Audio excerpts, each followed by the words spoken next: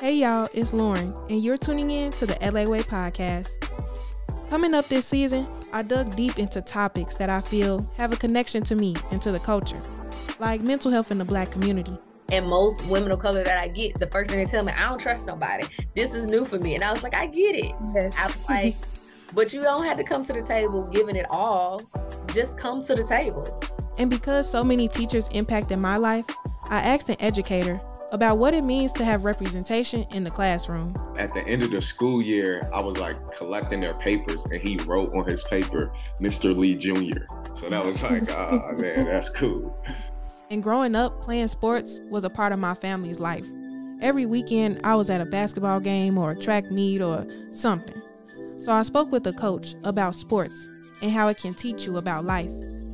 So, like in sports, you know, anything can happen at any moment, and you can't control the result. I feel like that's a life lesson. Like in life, a lot of things are going to happen that you just can't control. I learned about some of my family's history through my grandmother, who grew up in Mississippi and moved to Chicago for a better life. I made those sacrifices for my children. I know they benefit from it, so I'm happy. The wisdom and lessons my grandmother, along with other family members, taught me made me the person I am. I even spoke to my sister about how we've managed to build a healthy relationship as we matured in our own individuality. You're my best friend and my sister. I know that I like, even though I know you're gonna go on me at the end of the day, I know I can come and tell you anything. You're gonna tell me I'm being stupid, but you really, I know you got my back regardless.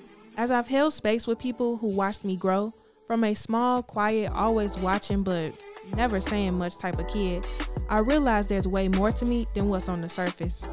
I'm always wondering why things happen, how we can make things better, and what I can do to support others.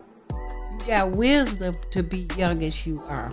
And you always think of stuff what you want to do before you do. You don't jump into anything.